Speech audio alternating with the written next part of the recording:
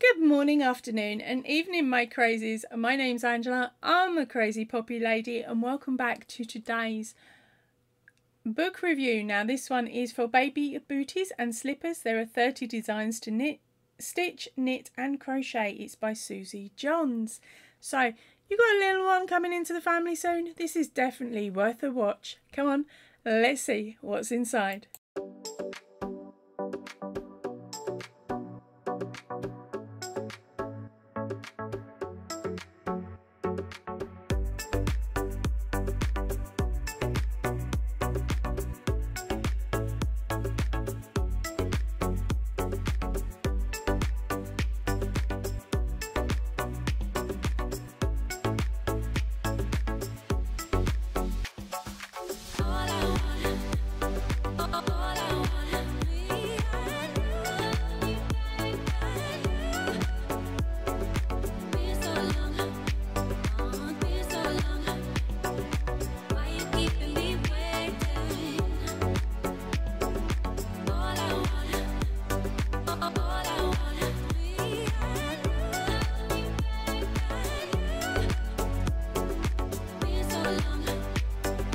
Okay, so uh, let's sneak into this very first page and have a look.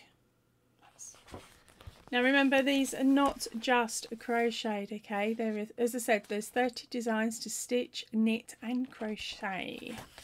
So uh, let's have a look. This book was first published in 2013 by Guild of Master Craftsmen Publish Publications Limited which is uh, based in the UK. Okay, so here is a drawing of each of the patterns. I wonder what they're actually going to look like when we get to them. Right, I'm not going to worry about reading through which it, what each of them are. We're going to clearly be able to see that in a few minutes once we get to them. Now, the first section of this book is the projects, and then the second part is the techniques. So it teaches talking about sewing machines, knitting, uh, sewing techniques, knitting techniques, crochet techniques, add-on soles, size chart, abbreviation conversions, about the author, acknowledgements, and of course the index. So let's just turn straight into this and see what these turn into. Okay, we have um, to start off with the introduction and a safety note, it's an important thing to note that these are baby booties and slippers. They are meant to be worn in the pram when crawling around on the floor or snuggling on the sofa. On the sofa for a bedtime story, they are not designed for walking in. The addition of a non-slip soles, as described on one on page 152, will add a bit of grip to the slippers for older babies who are starting to find their feet but will not make them safe for walking. Always use your common sense. Does will you be packing some common sense in with the with the items you make? Okay, sorry, I'm in a very a very cheeky mood tonight. Okay, so the uh, first one ups are heartfelt, and for this one you need felt and always make sure of course uh, that you check that you, the dye doesn't run in the felt that you're going to use. Otherwise you will stain those gorgeously little feet. Okay but it explains here how to make how to cut it the shapes to cut it how to sew it where to pin it and all of that. Okay next up we have got rabbit ears. These are knitted. Hold on pair of yeah these ones are knitted quite sweet. And again, it shows you everything you need. Oh, cowboy boots and they're crocheted. Yep. Sorry, I'm just having to read through quickly. Yeah, crochet hook. Now they are quite sweet in a weird and wonderful way. But the colouring's off for cowboy boots. Right, next up is a rainbow a patchwork. These are made with scraps of 100% cotton and dress weight fabric in various prints. Okay, so you'd need your sewing needles to hand for that one, or of course your sewing machine. Then we have a cute little pair of Daisy Janes, and these are also crocheted. and I, I don't know if you can pick that up but the bottom of these actually have a shop bought sole attached to them which isn't a bad idea for little Mary Janes. Nope. Then we have some simple shoes. These of course are also crocheted and they also show you how to do them or talk you through how to do them in all different sizes. These gingham checks are made with 100% cotton and dress weight fabric and it gives you the size of the amount of fabric that you would need as well and then shows you all the different shaping. Elfin boots, oh Elfin Nora, these are knitted. I was hoping these ones would be crocheted, but they're the little elfin boots. Oh. Then we got little duckling ducklings. These are also knitted. These are quite sweet. Cozy slippers. These are a piece. You need a piece of wool or wool, wool viscose felt um, possibly in grey, then you choose your own colours, can't you? Princess Jewels, this is another sewn pattern using fabrics. The lacy sandals, these ones are crocheted. They look very good for, well, they look very diddy for newborns. Then we have ballet slippers that are knitted.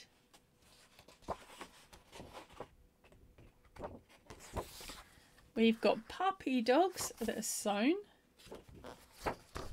The strappy sandals are crocheted.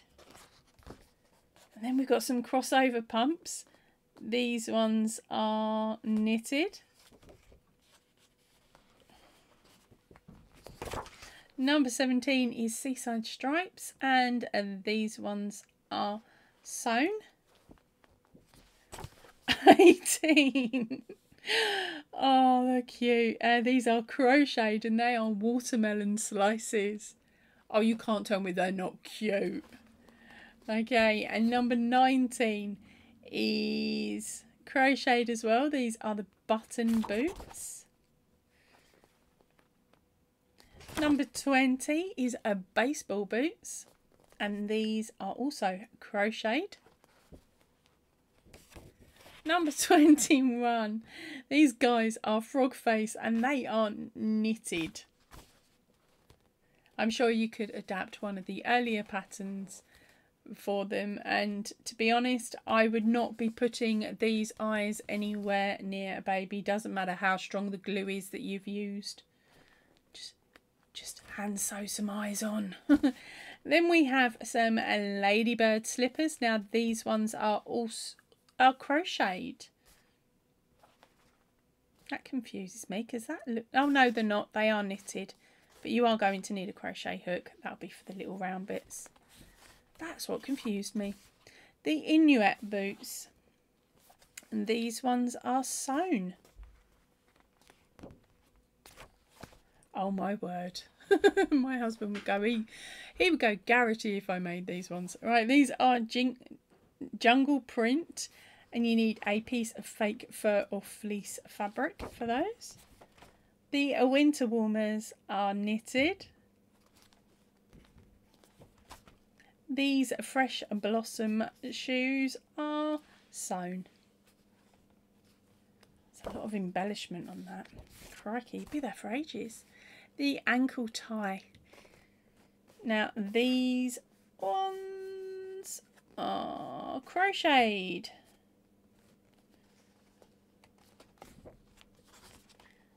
Okay, and next one are the stripy booties, and these ones are knitted. Teddy bears. Now these are ones are crocheted. We've got colourful cupcakes and they are knitted. And that is it for the patterns. Oh, which one of these did you like the most, gang? Please tell me in the comments section down below, even if you haven't got little ones coming, which ones made you giggle, which ones made you giggle. Okay, now we're moving on to the techniques section. So we have all the information on sewing techniques, knitting techniques, and then of course the uh, crochet techniques. Now these techniques cover the tools, materials, other equipment that you would need, your tensioning, your gauge, and how to follow the patterns. So that's the same throughout each of the three different methods for making them today. Now, as you can see here, they've got a beautiful section here about baby shoe sizes. And then they have a, a printout section that I'm assuming you can lay your pieces of work over the top to make sure that they hit the desired um, width and depth and for the shoe, or for the sole, I should say. Then we come on to the abbreviations for knitting, for crochet. And they've got information on knitting needles and crochet hooks in UK metric and US terminology. They have swapped the terminology around for us from UK to US, so that covers those. And the same with the yarn weights. Okay, then we have a section all about the author, her acknowledgements, and of course the index. So there we go. That's this book. So what do you think? Have you got a little one coming? Are there any patterns in here that you would like to make that you think would look cute on a baby in a pram? Or even, I know, your your grandchild's doll. They could be used for those as well. Um, thankfully, I haven't got any children on grandchildren on the way yet. I say thankfully, I have got a, a, my eldest is now older than I was when I had her, so every year is a plus okay at the moment for not having a grandbabies um right so for me personally and this one i wouldn't be going on my bookshelf um because there are only a third of a, of the patterns in here i would be able to make um and of course, I've got no grandbabies on the way, uh, so added bonus. All right, now that is it for me for today. I would love to hear what you think about this book in the comments section down below. And remember, if this is a book you like, if I've managed to find anywhere where this is available to you, that those details will be placed in the description box down below.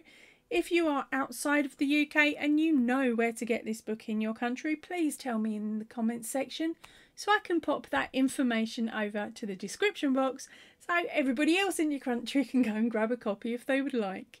Right, that is it for me for today. I will see you all really, really soon. So please remember, stay chilled, stay happy and keep crafting. Goodbye, everybody.